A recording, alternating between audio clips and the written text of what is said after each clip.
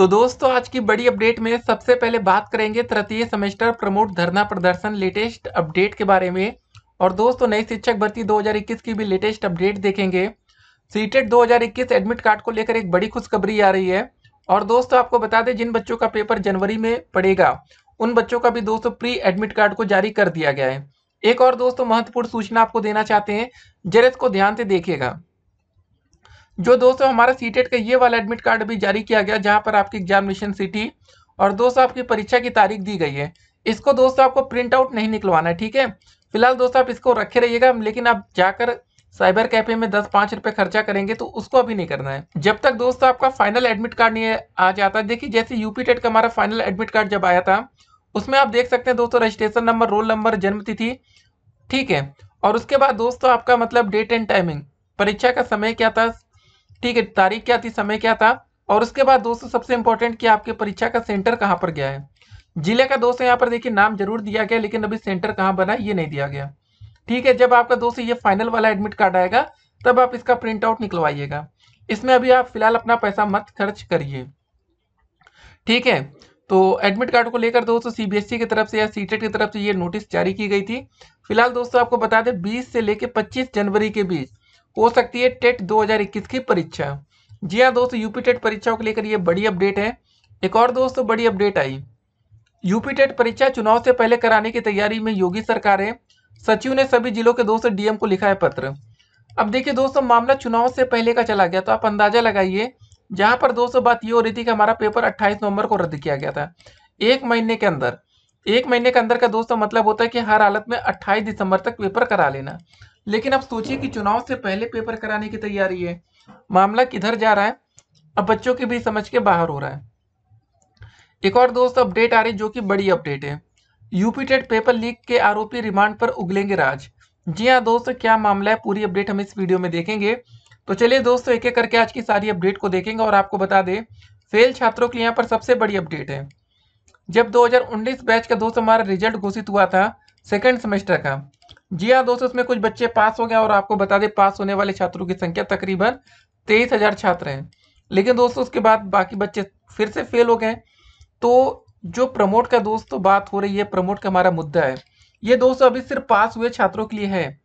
जो बच्चे पास हुए तेईस हज़ार, अगर आप छात्रों में आपका नाम आता है, तब आपको प्रमोट किया जा सकता है। लेकिन अगर आप फेल छात्र में अभी भी काउंट हो रहे हैं, तब फिर आपके लिए दोस्तों प्रमोट की कोई भी खबर नहीं है। तो इस वीडियो में दोस्तों जो हम डिस्कस कर रहे हैं 12 दिसंबर 2021 आज सुबह से लेकर रात तक की अपडेट को और कुछ अपडेट हम 13 दिसंबर की इस वीडियो में देख रहे हैं। तो दोस्त, आपको बताना चाहेंगे जो हमारा डीएलएड प्रथम द्वितीय, तृतीय सेमेस्टर का रिज़ल्ट घोषित हो चुका है, उसको अगर आप डाउनलोड करना चाहें तो तुरंत डाउनलोड कर सकते हैं। हमने कमेंट बॉक्स में आप लोगों के लिए लिंक दिया है। बाकी दोस्तों डीएलएड चतुर्थ सेमेस्टर का भी भैया हमने लिंक दे रखा है। जैसे ही लिंक एक्टिवेट होगा, सबसे पहले आप अपना रिज़ल्ट आसानी से मात्र दो सेकेंड में डाउनलोड कर पाएँगे। फ़िलहाल दोस्तों अभी समय है कि आप लोग सीटेट का एडमिट कार्ड डाउनलोड करें और चेक कर लीजिए कि आपका सेंटर आखिर किस ज़िले में गया है। देखिए दोस्तों, ये ज़्यादा ज़रूरी क्यों बन जाता है आपको बता दें। हो सकता है कि आपका सेंटर आपके खुद के ज़िले में बन गया हो, लेकिन कुछ बच्चों का सेंटर घर से बहुत दूर चला गया तो अब उन बच्चों को करना क्या पड़ेगा? सबसे पहले भैया ट्रेन की टिकट करनी पड़ेगी, या फ़्लाइट से बच्चे जाएँगे, या गाड़ी बुक करके जाएँगे। तो कुल मिला के दोस्तों, ये सरकार आपके साथ बिज़नेस कर रही है। अब बताइए जब बारह सौ रुपये दोस्तों आपने सीटेट ऑनलाइन आवेदन करते समय दे दिया है तो अगर आपका घर से सेंटर मान लेते पाँच सौ किलोमीटर दूर बन गया तो पाँच सौ किलोमीटर आने जाने का खर्चा रहेंगे, वहाँ पर आप रुकना पड़ेगा एक दिन कम से कम, होटल लेंगे, गाड़ी का खर्चा, कुल मिला के दोस्त अच्छा खासा खर्चा भैया सरकार करा रही है। सरकार को दोस्त यहाँ पर इस समय बच्चों को राहत देनी चाहिए, कोरोना का समय है, कि बच्चे, जो बच्चों का सेंटर बने, उन्हीं के जिलों में बन जाए, लेकिन बताइए, ये दोस्तों सरकार की तैयारी है। अब जरा इस अपडेट को देखते हैं। योगी सरकार उत्तर प्रदेश शिक्षक पात्रता परीक्षा यूपी टेट 2021 तो यूपी टेट का दोस्तों पेपर आउट होने के बाद निरस्त की जा चुकी परीक्षा को हर हाल में आगामी विधानसभा चुनाव से पहले करा लेना चाहती है, जिसकी खास वजह दोस्तों युवा मतदाताओं को साधने की बताई जा रही है। जानकारों का कहना है कि यूपी टेट का पेपर लीक होने से युवाओं और शिक्षक भर्ती का इंतज़ार कर रहे छात्रों में खासा नाराज़गी है। सरकार इस नाराज़गी को जल्द से जल्द यूपी टेट परीक्षा को पुनः आयोजित करके दूर करना चाहती है क्योंकि दोस्तों, युवा भारी संख्या में मतदाता हैं, जिस कारण से सरकार हर हाल में युवा को साथ जोड़कर रखना चाहती है। इसलिए दोस्तों, इस बार परीक्षा आयोजित होने से पहले शासन पूरी तरह से तैयारियों को सुनिश्चित कर लेना चाहता है। इस संबंध में प्रमुख सचिव शासन ने सभी जिलाधिकारियों को एक पत्र भेजकर पूर्व प्रस्तावित सभी परीक्षा केंद्रों का परीक्षण कराने का निर्देश दिया है। सूत्रों की माने तो प्रमुख सचिव की ओर से जारी पत्र में जिलाधिकारी को निर्देशित किया गया है कि परीक्षा केंद्रों के निर्धारण के पूर्व उनका परीक्षण करा लिया जाए। यदि किसी परीक्षा केंद्र पर किसी प्रकार की कमी पाई जाती है तो उसे बदलने की ज़रूरत है। तो संशोधित परीक्षा केंद्रों की सूची और अभ्यर्थियों के बैठने की क्षमता की सूचनाएँ सचिव परीक्षा नियमक प्राधिकारी को भेज दी जाए। गौरतलब है, दोस्तों, कि 28 नवंबर को आयोजित यूपी टेट 2021 परीक्षा पेपर आउट होने के कारण परीक्षा को दोस्तों निरस्त कर दी गई थी। ऐसे में विधानसभा चुनाव से पहले तय समय में तय नियमों के अनुरूप यूपी टेट परीक्षा को सुचितापूर्ण और नकल विहीन कराना बहुत ही बड़ी चुनौती है। जी हाँ दोस्त, ये बड़ी बात है जो कि हम आपके सामने रख रहे हैं। तो भैया यूपी टेट का पेपर अगर पेपर लीक नहीं होता, उस हिसाब से अच्छा खासा पेपर हो गया तो बच्चों का रिज़ल्ट भी देखिए बढ़िया आएगा। जिन बच्चों की तैयारी अच्छी होगी। देखिए, लिहाजा प्रमुख सचिव द्वारा जिलाधिकारी को पत्र के माध्यम से कहा गया है, सूची में यदि ऐसे परीक्षा केंद्र हैं जिनके खिलाफ सामूहिक नकल या पेपर आउट करने आदि की शिकायतें सामने आई हैं। उन केंद्रों के स्थान पर सबसे पहले राजकीय या सहायता प्राप्त माध्यमिक विद्यालयों और महाविद्यालयों। सीबीएसई आईसीएसई मान्यता प्राप्त अच्छी छवि वाले विद्यालयों को केंद्र बनाया जाए। तो कुल मिला के दोस्त, इस बार भैया सरकार पूरी तैयारी में है और उम्मीद दोस्त, हम यही करेंगे कि इस बार भैया पेपर आउट किसी भी कीमत पर ना हो। पेपर आउट होता तो भैया छात्रों का भविष्य खतरे में पड़ जाता, देखिए। अगर यूपी टेट का पेपर हो चुका होता तो इस समय हम लोग शिक्षक भर्ती की बात कर रहे होते हैं कि नई शिक्षक भर्ती का नोटिफिकेशन कब तक आएगा। लेकिन अभी भी दोस्तों मामला यूपी टेट में ही अटका पड़ा हुआ है। तो दोस्तों बात कर रहे थे क्या अपडेट है यूपी टेट को।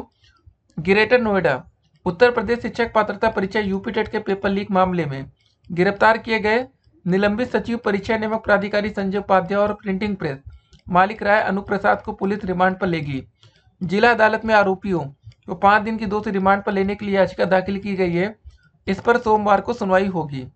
याचिका में दोस्तों पुलिस ने कहा है कि यह बड़े स्तर का फर्जीवाड़ा है।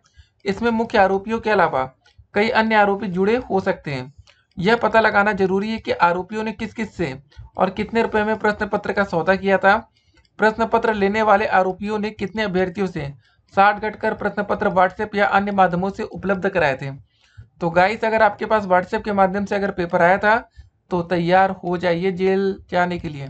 जी हाँ दोस्त, देख लीजिए आप सबकी भैया सेटिंग निकाली जाएगी कि कौन बच्चा कहाँ कहाँ साठ घाट किया था। आगे की अपडेट देखिए।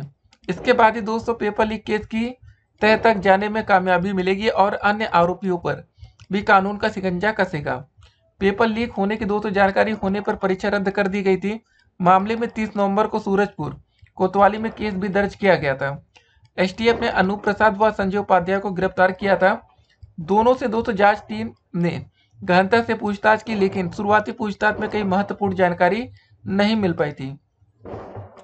मुख्यमंत्री योगी आदित्यनाथ ने इस मामले को गंभीरता से लेते हुए गहन जाँच और आरोपियों पर कड़ी कार्रवाई के निर्देश दिए थे। तो दोस्तों, प्रदेश के लाखों अभ्यर्थियों के भविष्य के साथ किया गया खिलवाड़। जी हाँ दोस्तों, पुलिस अधिकारियों का कहना है कि आरोपियों ने अवैध धन कमाने के लिए प्रदेश के लाखों अभ्यर्थियों के भविष्य से खिलवाड़ किया है।